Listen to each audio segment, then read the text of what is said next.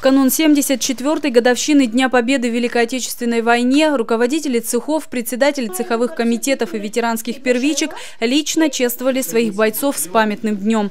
Двое из них многие годы трудились в цехе номер 31. К ним с низким поклоном и благодарностью за День Победы отправился начальник 31-го цеха Константин Носков. Сегодня мы посетили наших двух ветеранов – это, конечно, событие, как всегда, трогательно и приятно их видеть ну, в здравии, что сегодня получилось поговорить, пообщаться,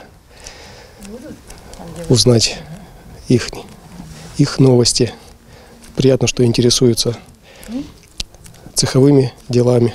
Первым принимал гостей Николай Сумской. Начало войны Николай Прокопьевич помнит очень хорошо. Ему было 15 лет, жил он тогда в деревне Дмитриевка Ракитянского района Курской области.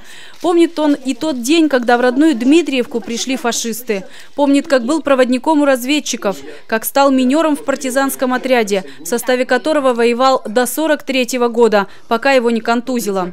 Отлично помнит Николай Прокопьевич и тот момент, когда пришла весть о победе кричали, плакали, смеялись, кто что делал. Все было. С радостью встречали посланцев родного 31-го и в семье Павловых. Фронтовик Павел Алексеевич и его супруга Тамара Михайловна счастливо прожили долгие годы. Только вот помогать им сегодня особо некому. Внук и правнуки живут в областном центре, а потому наведываются в гости нечасто. Павел Алексеевич 18-летним парнем попал на фронт в 44-м. Боевое крещение Салдинец принял на территории Латвии. Оттуда дошел до Берлина, где и поставил точку в своей личной войне с фашизмом фашизмом, войне, которая каждую ночь возвращается к нему во снах. Лягу спать, и все показывается мне эти войны.